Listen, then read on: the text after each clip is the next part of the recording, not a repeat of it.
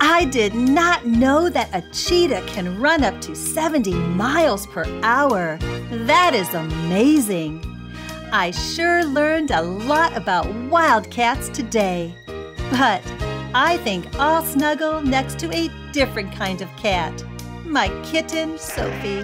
She definitely cannot roar, but her little purr is so cute.